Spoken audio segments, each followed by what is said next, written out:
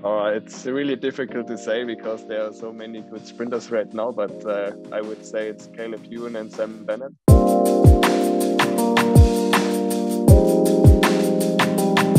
It depends of the of the home straight. If it's a long one or a short one, I use between 53 and 55, 11.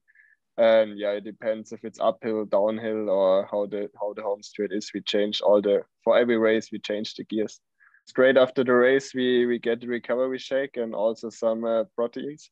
And then we take a, a short or little little lunch like rice or pasta. And then we come home for massage in the hotel. And then afterwards we have a big dinner and then we go to bed early. Like it depends of how long the transfer is and all the things. Sometimes we are on bed in bed already at eight o'clock. Sometimes it takes like 10 o'clock or later on. It's always different. Uh, it's really difficult to say because there are so many good sprinters right now, but uh, I would say it's Caleb Ewan and Sam Bennett because for sure they are one of the best sprinters in the world right now. And yeah, but there are so many other riders to add, like Groenewegen, Jakobsen, and yeah, you could say a list of 10, 15 riders and they never would end. uh, my first race I did with six years because my all my family were cyclists too, like in amateur cycling, and yeah, and then I just had no other possibility, and yeah, I just started cycling. but the first time on my bike, I think it was with two and a half years. Uh, winter we do uh, a lot of gym training, and yeah, I do some squats and some other things. But yeah, in the summertime, we have not that many time or that much time for some weightliftings because yeah we have also some or we need some time from recovering or for recovering from the race. And yeah and then it's not so easy to do it all year long.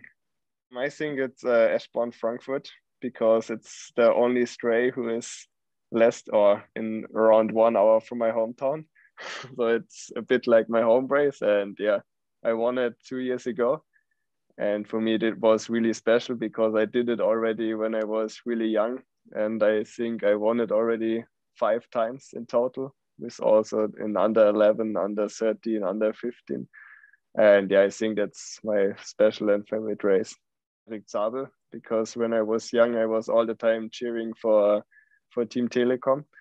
And so I think it would be him. I think it was around uh, 1,950 but yeah, it's a long time ago, and I cannot say if it's the right number or not. I think it was a Vicini, and it was pink. but unluckily, we we sold it when I was young, and so now I don't know where it is.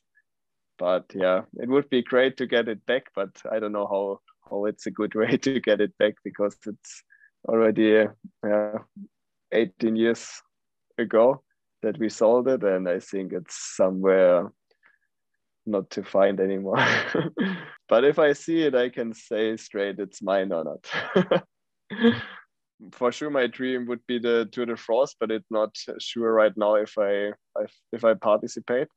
But if it's the tour or if I'm on the start list, then it's definitely the Tour de France this year. But for now on, it's uh, Milan San Remo and yeah because it was also a big dream for me to stay on the start line and this year i will be. And yeah for now it's uh, milan san remo maybe it's the tour de france but right now it's uh, definitely the giro d'italia.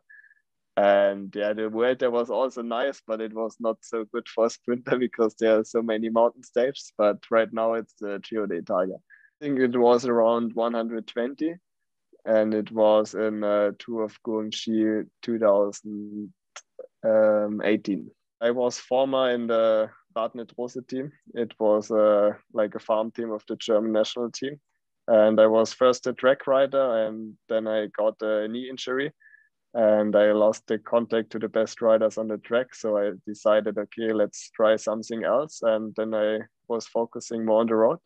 And yeah, finally I was lucky and it worked out and now it's it's still my dream to be a pro cyclist and i'm really happy that i had this knee injury to have to had to change something the most important is the helmet because it saved my life many times already And for me, myself, it's the the glasses because I cannot ride without glasses because when I get the wind in my eyes, I cannot see anything. Or if it's raining, I I cannot see anything. So for me, it's the glasses. Sometimes it's it sounds bad, but it's uh, mostly like less training because you have to be really fresh as a sprinter, and that means like less training and more recovery time.